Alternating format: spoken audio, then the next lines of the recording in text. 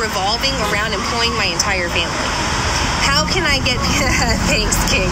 How can I get like you know incorporate my sisters into working for me and you know my son my nephew like all of them. like i've always like thought that way i used to like my goal in life used to